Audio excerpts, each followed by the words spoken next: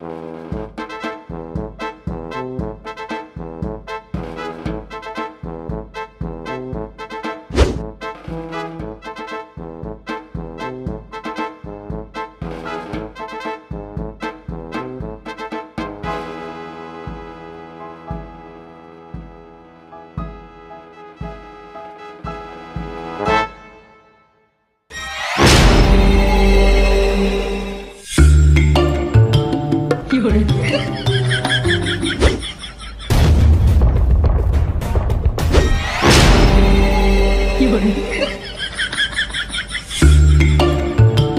भैया पीनट कहाँ है?